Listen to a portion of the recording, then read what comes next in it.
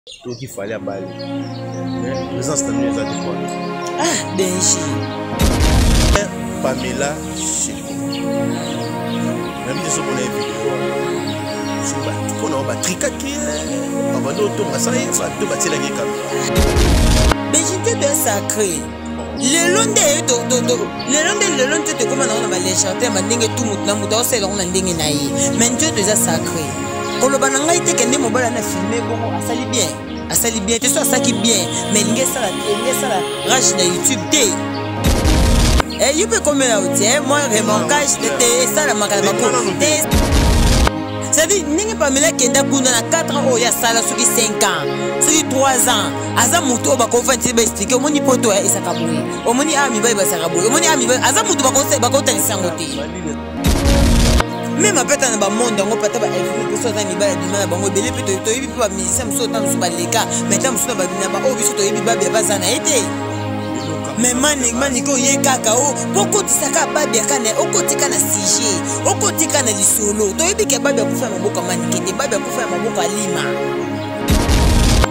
ovanda mpe na manike mama oyo alobaka o aprepara yango na papier to ezalaka mpona ovanda na manike futu na keni nga koyeba manike koleka keni mpena te na moma oyo fala otobisela biso singele moko nzoto na minute oyo towana nzembo moko eza eh, ezosala succès bato bazolela eza bapasite biso ya kongo bakobata mpe bamoni mpeke eza bien komona eh,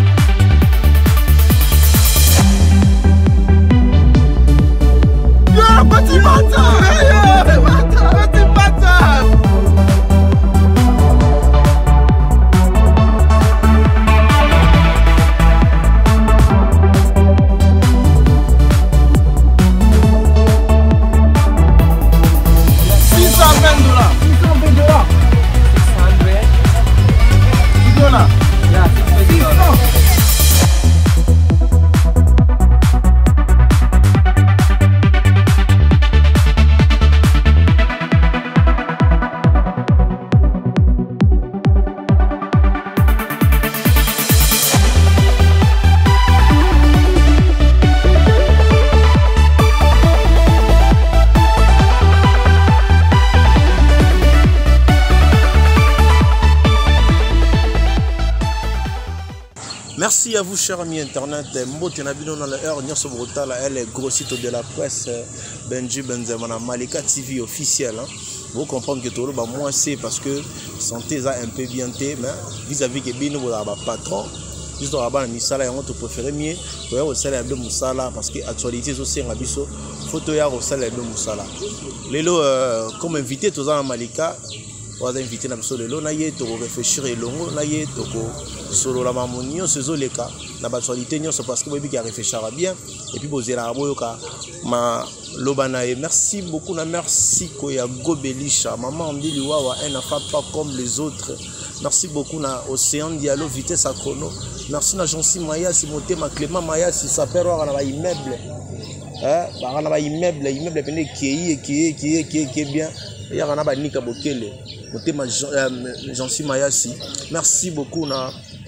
jumeau paradis bana suka nzambe napesi bango mpe mbote merci beaucoup na, na malika oyo aza pembeni na biso malika tv officiel toyambi kaka malika malika bonjour bonjour benji benzema garçon vitaminé bonjour na baabonné tu ya malika officiel tv bonjour na bato tu oyo basoutenaka josman ya malika partout dans le monde merci beaucoup na la joie amado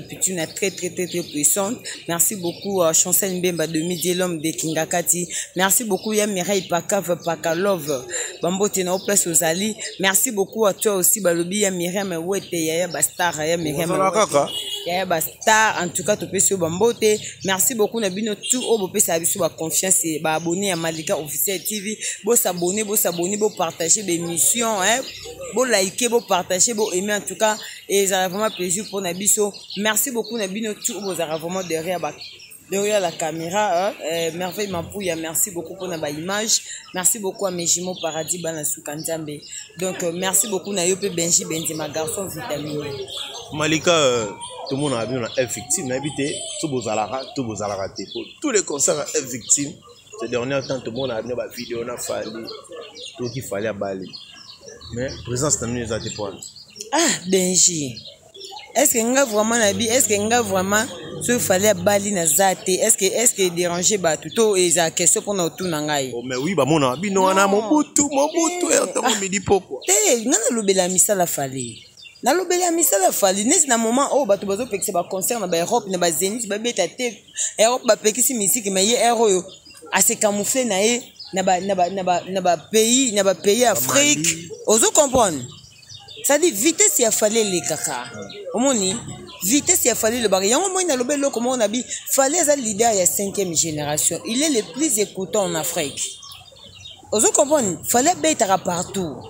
soki bakangi europe ebeta te aokende oluka contrat bacontra eya na baafrike okende obeta ngai nalobaka te naloba yango benji nalobaka te mpo naza wario te nalobelaka nasala na orchestre ya fali te nayaka nde kolobela misala fali ngai alobela misala fali na moment oyo fali aotobimisela biso singele moko nzoto hmm. na minute oyo towana nzembo moko eza eh, ezosala succès bato bazolela eza bapasi na biso ya congo bakombata mpe bamoni mpe eza bien komona mpr basali nzembo moko ya bien ezodike masse ezodike masse nini tosali te tomona fali ola soutenir ata bana wana asala mpe ata banzembo babongo tomona fali mamoko lokota pata tout sopela omoni te ke autrement nde bakombata mpe bana raison malika eza likambo bakombata te motu na motu aosala carrière na ye motu na miziki eza mbongo eza société bafali babetaka miziki kaka te obeta miziki mpo aa na société aza na bato engagea oyo efa futaka bango bato wana mpe bana bafamille na bango bana na basi na bango baza na bana na bango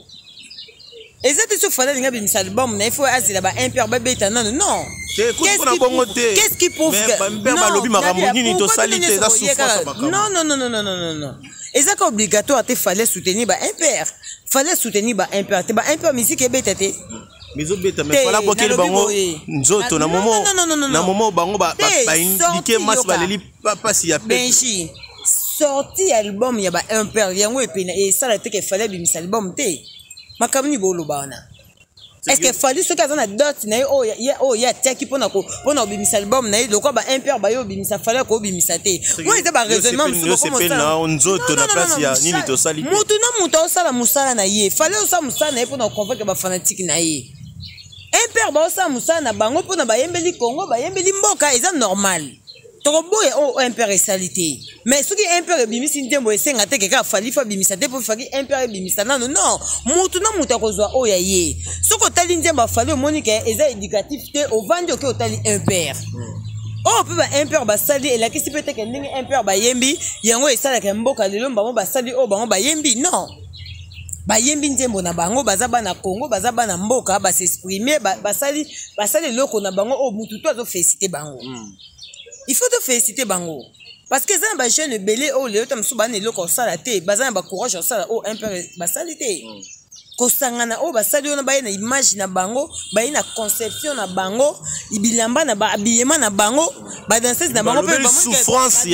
souffrance ya mboka te badanseuse na bango mpe baza na balitatu te bape na balipersa te osadi baa na genre na bango moko sadi faut tofélicite bango mais yango esala te ke soki fali alingi abimisa album mpo ba impeur babimisaki fale abimisa te non oyo tokoma oraison nde mosusu fale osala cope na ye osala mosala na ye impeur mpe basali mosala na bango bayembi nzembo na bango oyo esepesi mpe bato tosali fali mpe osala mosala mpona osepesa bafani na ye fale odépendre ya ba impeur te to fale odépendre te na bato ntango ba impeur babimi fo fale ayaka kosoutenir bango bamisie baza ebele peut-être baosoutenir bango ntango mosusu oyo biso toyebi te soutien eza kaka te bamona bato ensemble soutien même de loin eza kaka soutien toyebi oyo te oui malgré moyebi ke bacombatant baplerana na likambo yango hmm. ke lelo bango bacombatant nyonso tomona boketo asala video bake bane na mposa bafali basala banzembo eh, bango bakoki koexige bamusicien basala oyo ba impere basali te bakoki koexige bango te moto yango nayo toloba moto na moto asala miziki na ye soki ba impere mpe bayembi mpe basepesa mpe boketu te eza ka idéologie na bango structure nzembo na bango façon na bango na concept na bango bayeli basali nzembo na bango mais eplaire bato ebele peut-être bango moko mpe bazalaki surpris ya omonake babimisa nzembo ya nini tosali te esepesa bato ebele bongo malgré eyaki na debe ezalaki combattu non ozo comprendre benji donc c'est-à-dire fale aza na carrière na ye fale obeta miziki mpo na bafanatike na ye fale azobeta miziki mpo na kosepelisa bamelomane ya bonne miziki oyo balinga miziki ya fale c'est-à-dire ba impeur babeti mpe miziki mpo na kosepelisa monde entier eza eloko moko sauf ke oyo aye na concept na ye oyo mpe aye na concept ya miziki na ye fale abeti miziki oyo ayebi ke bafani na ye basepelaka ozomona ba impeur babeti miziki oyo bayebi ke babeti conception eza bayembi likwa histoire ya mboka donc c'est-à-dire soki peut-être bacombatant baboya bafali bamusicien ebebaki kobeta ya bapoto mpona kaka peut-être mpo bayembaka ndenge eh, ba impeur bayembi te ngai na désolé bacombatant bakoki koexige bamusicien babeta miziki oyo oh, bango baolingela te non parce que toyebi ke koyembela mboka eza eloko ya facile te musicien moko ta sample jean eloko ya bongo omoni osali ba impere baza bana baye babanda yemba mona miziki ya genre wana te bayaki na bastructure ya miziki na bango bazoyemba male malembe baomata tomoni oyo baye babeti 1 million 1 million de vie omoni cetadi bango tu baza bamusicien ya mboka biso tosepeli na eloko oyo ba impere basali par rapport tomoni mpe ke bayembe nzembo moko eza interessante omoni c'est-à-dire tosepeli na yango alors tosoutenir bango bamusicien oyo bakoya kosoutenir bango ekozala bien baoyo mpe bakosoutenir te non bango babeta miziki na bango mpona baya na bango eh, baleki na bango baya kosoutenir bango te non soki bakoya kosoutenir bango eza mpe histoire ya bien mais quand même basali eloko na bango baza bajeune talent bayaki na structure émission ya nzembo na bango bayaki na façon na bango bayaki mpe na concept na bango omoni parce que bamiziki ebetaka nao tomona baconcept oyo ba impere basali te ya babiyema ntango ya kala baimage ya mwa ble blanc ya noir et blanc omoni basuki ya bafille omoni eza donc différent eza différente na baoyo tomona bamiziki na biso ndenge ezalaka mais quand même to topesa topesi bango bafélicitation tobwakeli bango bafleur c'est-à-dire yango te kosala ke bafali abimisa album te parce que bango babimisaki to ifaki fali asoutenir na bango te motu na moto asala carrière na ye merci beaucoup wana ezalaki réseau en fait makanisi ya malika à propos ya ya, ya fali epo pendant un père bon ndenge areflechaka areflechaka bien affaire ya camo lopez malika mm. affaire ya camo oyo mpe ya sonam ça fait déjà deux ans trois ans hein? trois ans tookende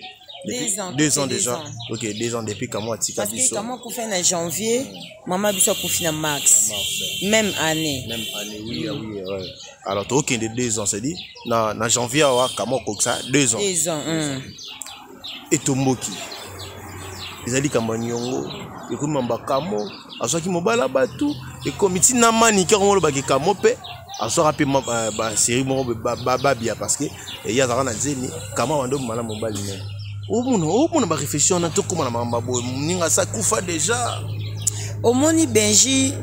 mani kaka olobaka eveline azalaki mpe mbanda na ye mais eveline eh, nani nani comment dirais-je manike mpe olobaka mpo eveline mpe aza te ntongo bosala bosala moto esi akufa bongo bino boyebi nde bokufela te boyebi bato baotyola ebembe na yo te boyebi bato baobeta lisolo ya histoire ya vie na bino te parce que moto so akufi histoire ya vie ya moto ekoma eyaka na bandenge ebele na basense ebele bisika bisika moto na moto aoya na bamasolo na ye mpo ani moto esi akufi akwa bon akwa boboya kotraite nzoto ya motu motu esi akufi ezoyeba makambo oyo bino booloba te makambo oyo ezosalama awa ayebi kutu te estce eza important ka manike fo ya kobakisa kake alinga babi amanike mpe ntango mosusu aloba makambo ya babi yango toyebi biso nyonso toyebi ke babi akufi ya maboko ya manike te toyebi ke monike ah, babi akufi ya maboko na ye te mwasi oyo babi akufi ya maboko na ye azali hmm, maintenant tomona ata yako mpe koloba aya kopesa pesa toyebi te soki atala mpe makambo manika alobaka aya ata koleka acontredire mpe alobaka ete makambo oyo alobaka eza lokuta ozomona c'est ça babia babia babia est ce que po kota kaka nkombo kaka fo donc nkombo ya babia po ekota kaka na sujet il faut ekota kaka na likambo moko boye meme apeta na bamonde yango pata ba evini mpe so aza na mibali ya bima na bango ebele mpe toyebi mpe bamusicien mosusu ota mosusu baleka mai ta mosusu na baoyo biso toyebi babia mpe aza na ye te me manike oye kaka o mpo okotisaka babi aka na okotika na sujet okotika na lisolo toyebi ke babi akufa ya maboko ya manike te babi akufa ya maboko ya lima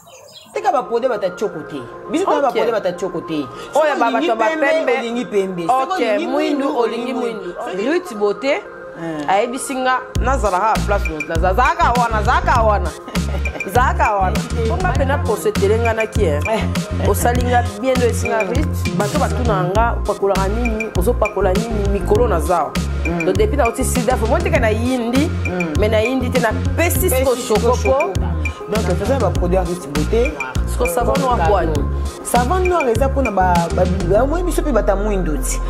bamwindo esalaki nde ezolongo ezamiki wi soki osaleli yango elongolaka babiloko wana enourrir po voilà bato oyo baza na bamonike mabumu esalama ndenge bate yango ya ritme te ezali obandimela yango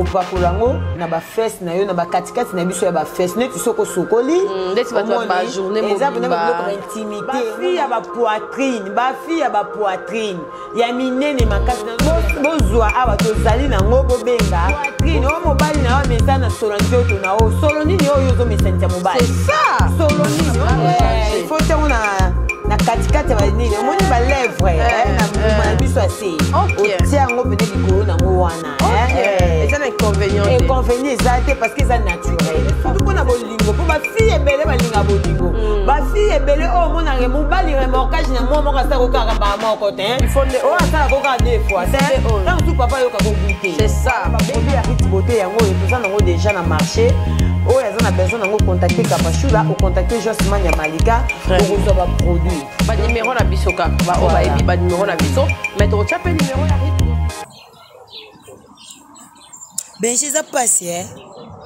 oyebi ke ekamwisa nga mpe ezosala mpasi komona moto esi akufa yebi makambo bino booloba te yango toloba ye kaka na kati ya makambo yango babimisaka nkombo ya eveline mpo famille ya eveline mpe ezotala na minute oyo youtube nyonso akoma otala estce makambo bango baobimisa wana to na mposa moto ayela biso preuve boyela biso ka preuve ya makambo nyonso te boyaka boloba kaka moto aboma ye toyeba mbala moko ti mais wana deja eza epretende deya koloba te tokondima nanu tokondima nanu te hmm. tokondima nanu te kaka noela moto aboma eveline tokondima nanu kaka te tanke bapreuve eza nanu te est ce que oyebi ke leta eyebi ndoki te ayebi kindoki te hmm. soki leta eyeba kindoki me bato ebele bafamille beye bakanga banoko toyoka bamasolo mwa ya famille wana kindoki ezama me bakanga banoko bato nyonso kindoki bamema bango bakomini est ce que aza na bapreuve tokondima nanu te me mpo tondima fo tomona preuve ti kombo moto ekomi sali na youtube moto esa kufa na ye epuis epuis kokoma nde ti kombo ya eveline ekoma guerre mpe ezalaki yango ya eveline te guerre mpe ezalaki ya eveline te omoni omoni eloko ezalaki guerre yango tokoloba te mpo tokataka mokoso neti ngai na obanda kokobeta lisolo makambo ya eveline te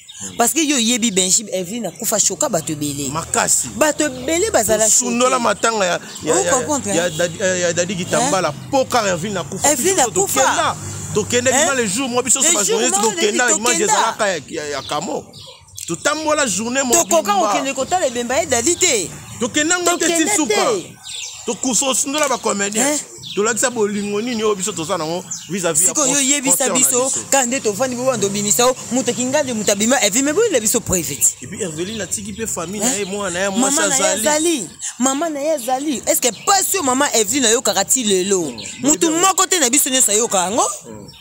motu moko te soki boyoki kobimisa makambo eventi eh, manike ya kokotisa mpe azalaka mbanda na ye manike ndenge aza wana omoni manike omoni manike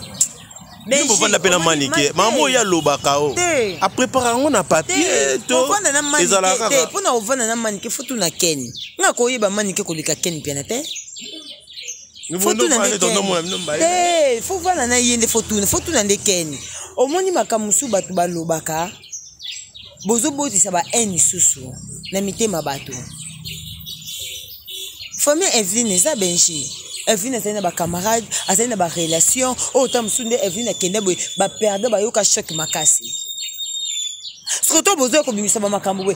evi na saki boye baoyina bozokotya ba haine na mitema bato moto mosusu oyinoka dalividi boye oyebi te eloko nini olobaka oyo oh, ta mosusu etikali na motema ti lelo dijar ya bamakambo oyo bandeko ya vini baotala baozela bopesa bapreuve bopesa preuve apesa bapesa ata signe ata signe soki mpo na eh, eh, evelyne azalaki mbanda mbanda ya nani oyo oh, evelyne azalaki mbanda ya manike eza mpe problème te mais babe epa kufa ya maboko ne te seke bango nyonso babundaki bazwaki te moto azwaki ezalaki alima hmm. te so evelyne azali mbanda nayebasalaki eh, bombanda te batika ye kala basalaki bombanda ya tunanga nini mm. yango tolobi ya soki eveline azalaki mpe mbanda na ye mm. eza mpe problème te mais tu ce qui est sûr babe akufa ya maboko na ye te biso toyebi kende ayaka na ayaka koinvente makambo ebele toyebi kayaka koinvente makambo ebele na komba babia wana bitango azali na zemi mais boyeba te mais boyeba kaka bino bozolinga boya kosalir nkombo ya moto esakufi boyebi te bino bakolela bino ndenge nini njoto na bino ekozalela wapi boyebi te boyebi te boyebi masolo bato bakobetela bino na, na sense na bino masolo bato bakobeta mpo na nkombo na bino te nde boluka bosalir nkombo ya evelyn voilà Merci beaucoup euh, Malika. Vraiment ça fait très mal. Hein? totika bakufa bakende nyuma bango mpe ma na kimia epe ma vraiment na kimia affaire ya kochange makila nayebi te so omonaki yango kochange makila malika affaire wana tokomi nao na kote wana cisiko mpo cisiko problème solution ezozwama te malika mm. tozomona kaka koposte mm. na bakroa na bafota babana makambo mm. ebele bafere tokoloba tokoloba mm. malika bito ndomona bino mpe na libala na yo tomonaki nene azalaki wana estce nene ape bosolola te topesa ata conseil to likambo moko ayebiso ndenge position likambo ezali mpo affaire ya mbongo toyebaki me nde ekomeli kosolola so te te eza likambo ya solola te eya na masolo eya na basecret d'etat mosusu babetelaka n'importe qui te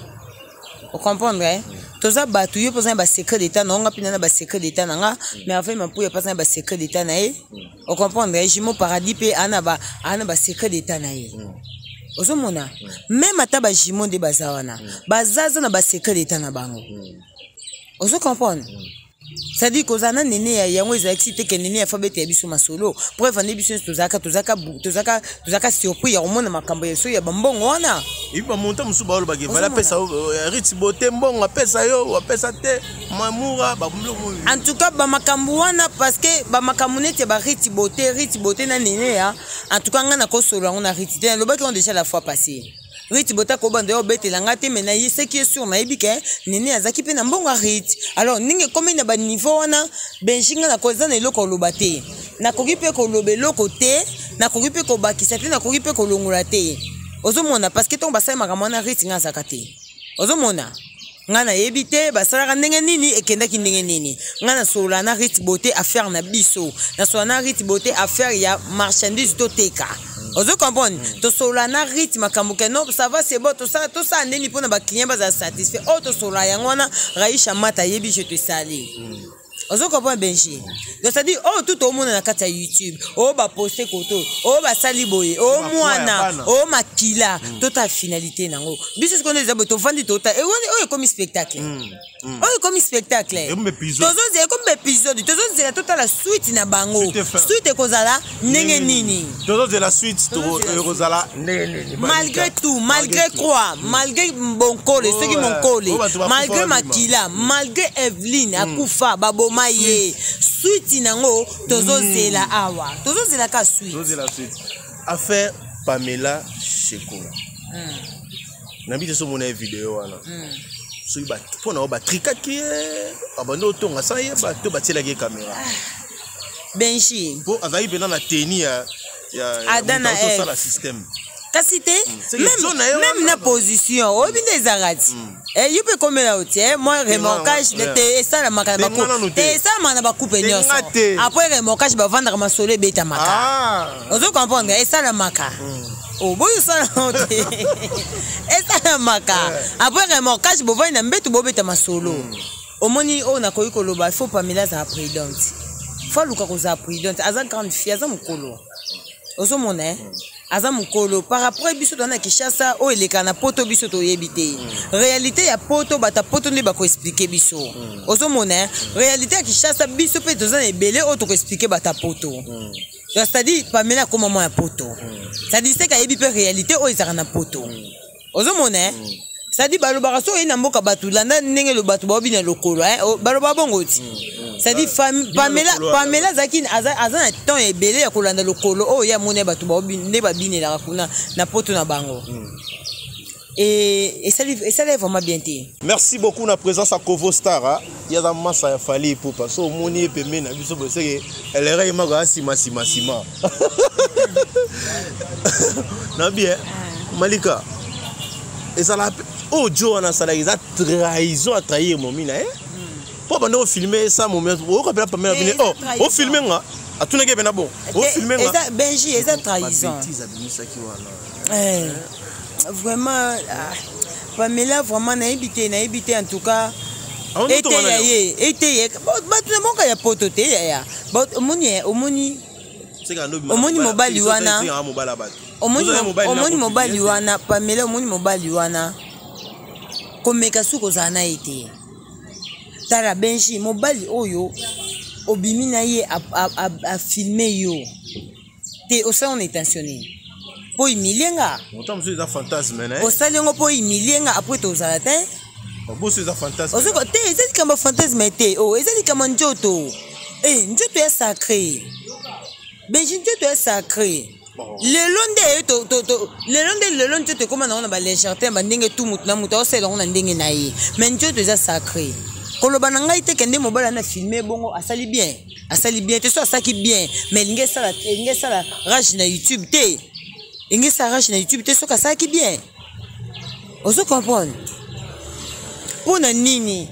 eza, eza, eza, eza, eza na bacouple tour ezalaka bongo mwasi na mobali bazalaka babeta basecret d'état baobeta masolo ya bato ezalaka ata mosusu bobeta mpe mwasi mpe bobeta masolo ya bacamarade na bino ya bantourage na bino ozomona mm. mais et après yebisa ngai ozwi video ozopiblie osala ona intention nini mwasi oyo okende na chambre ata mosusu opesaki ye mpe mbongo te ntango mosusu mpe mobali yango ntango mosusu azali mpe mobali ya bato ntango aotonga ntango mosusu andotonga mpe mobali mwasi aotonga mwasi soki yo oza mobali ya bato soki obimi na fille ya bato fo filme ye mpo oza mobali ya bato ta mosusu ayoki sikoyo kaka beta lisolo ta mosusu ya kame ya kamwasineyango kaka ndako amema lokola preve alakisa mwasi eh, tokokende yango na bacatégorie wana kutu te de fait ka filma te ya pibi aza mobali mabe aza mobali mabe aza mobali mabe benshi mwasi obimi na ye bosali mwasi bobimi na ye na bimwasi bosali na ye te kasi yango toloba beconvenient hmm. nango hmm. yango nayebi yango nayebisi yo hmm. pamela akenda poto biso toza na kinshasa ye nde ayebi bato ya poto ayebi na milie ya poto ndenge ezalaka yango nayo toloba na debiti c'est-à-dire ndenge pamela akenda kuna na 4 ans oyo asala soki 5 ans soki 3 ans aza motu oyo bakofandisi baexplike omoni poto ezaka boye omoni awa mibali bazaka boye omoni awa mibali aza motu bakotalisa yango te ozomona te bapekisi mpe te bapekisi mpe te malili eza na poto bapekisi mpe remorkage te hmm. c'est-à-dire yebaka o fréquente nani yeba nani oyo ozo fréquente hmm. pamela aza mokolo aza mokolo aza mwa moke te oyo baopiblie ye bongo kaka na facilité boye cestadi fo oyeba moto nio ozalaka na ye moto nio ovivaka na ye atako babi malili yango eyaka na 200 pourcent donc cestadi ata oyebi ke oya eh eza 200 pourcent okeka remorkage ka mpo malili eza ata bafilme yo ondimi riske ya na sens te zona risque eza essence te eza eza eza esali vraiment bien te omoni esali vraiment bien te parce que même moi mobali wana nayebi te selon ye conscience na ye te yake nini après avoir kofilme motu oseli oka bon mpe meme omona meme pamela aconstataki kao filme ye Pour une augmentation de la poitrine et des fessiers, utilisez la pommade Tozawatai. Grâce à sa nouvelle formule, mesdames, la crème Tozawatai augmentera vos seins et vos fesses. Mais également vos hanches et vos mollets. 100% naturel.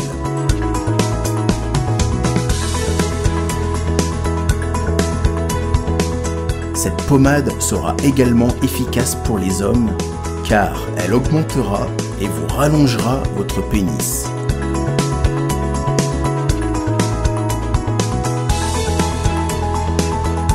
Alors contactez sans plus attendre Nicole Malonga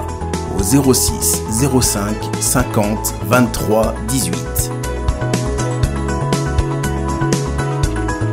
06 05 50 23 18 et via le site internet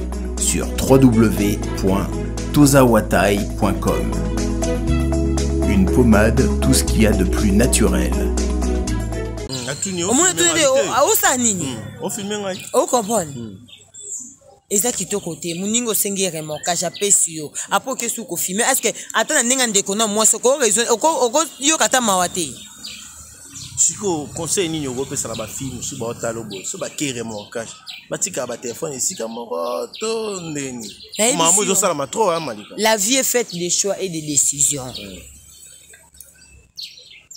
choix oyo ozosala ya kozala na moto wana fo oyeba moto wana choix nini ozosala mm. mais moi je pense que na oyo esalemi acomprendre déjà ke nasalaki choix mabe hey, eh, acomprendre ke asala ye choix mabe parce que moto dayati boleka na ye apo azwa filme yo te ata kutu ndumba ata kutu ndumba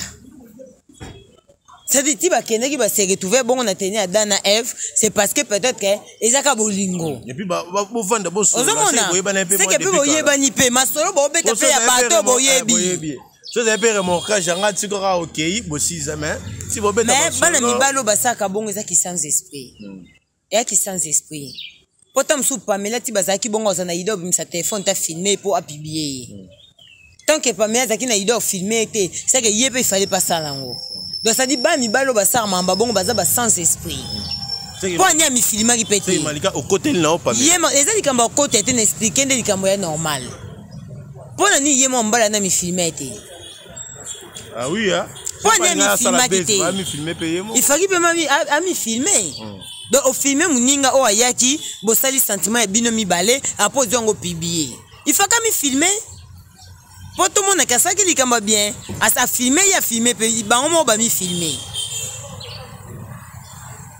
ya herman tomona bango nyonso tous les deux kasi malika herman tomona nani tomona bango nyonso tous les deux mpo niske oyo ya pamela asali bongo te asala mpe nde herman asara na mwasi ya mbai bango mo bamifilme faki ye mpe faki asala mpe bongo mpo tomonaka aza vrai jo asali makambo ya bien yo mibombi ofilme mwasi oza mobali mabe oh. malika mani yango azalaki invité na biso lelo tokomi vraiment na suka bafani nde baotala o eh, mot de la fin pour la journal lelo hmm. et puis euh, moi message de paix na bafani parce que tokomi dana bave bientôt là euh, en tout cas merci beaucoup vraiment babone ya malika officiel tv bosabone vraiment bosabone nzambe abatela biso lisusu tomonana vraiment tomonana tofete ensemble le 25 décembre le 1er décembre le 1er janvier en tout cas ekozala plaisir mpo na biso vraiment nzambe akotisa biso susu année 2022 ensemble na babone ya malika officiel tv nadège dubal je te sali en tout cas nzambe asala biso grâce tobeta susu maboko tosambela le 1er janvier ok nzambe akokotisa biso na 2022 merci beaucoup na bato tu balinga amani ya malika basoutien na bino vraiment utile mavinga pope noir je te sali e en tout cas merci beaucoup na bato tu bolingaka nga vraiment bosabone boza tellement ebele magali ekamba fille à la lèvre électrique balobi